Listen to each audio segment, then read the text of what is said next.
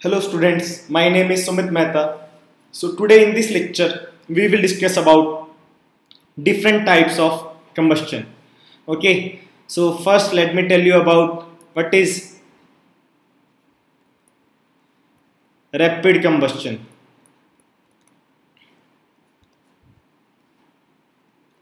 Okay, this is the combustion.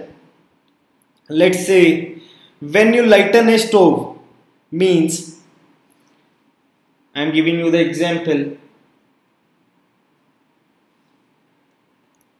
When a lighter means a gas lighter comes near the stove and you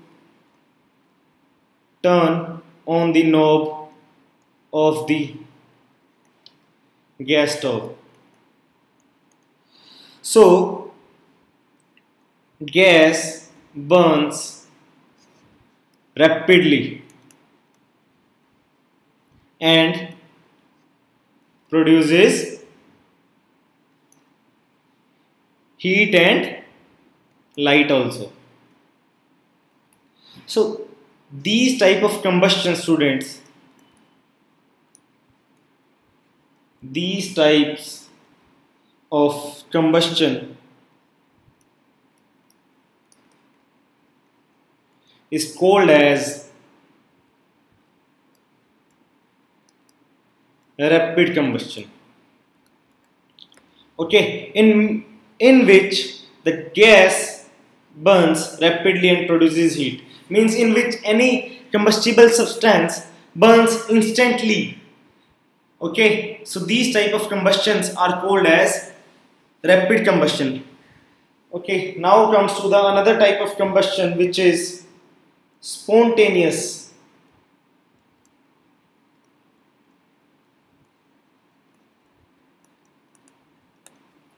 So student what is spontaneous combustion is?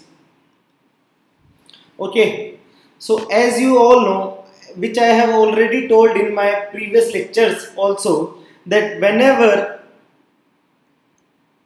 phosphorus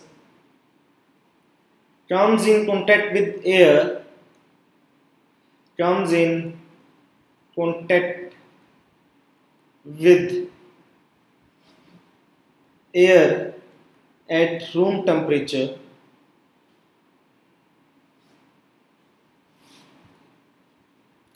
it starts burning.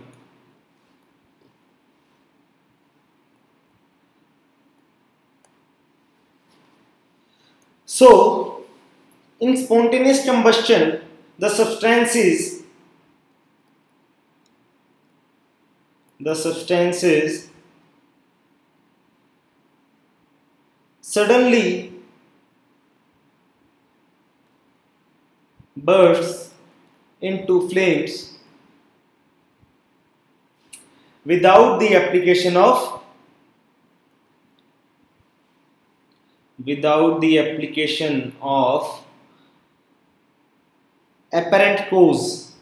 Means no external device needed. Such combustion is called as spontaneous combustion. As well whereas in rapid combustion we need a gas lighter or any burning any apparent cause means a cause is required. Okay? So students i hope you guys are pretty clear about the both type of combustions. One is rapid combustion and another is spontaneous combustion. And if you have still any doubt or any question based on this then please do comment in the comment section students. And also download the app of scholars learning from app store or play store okay and enjoy the learning experience with scholars learning. Student thank you. Stay blessed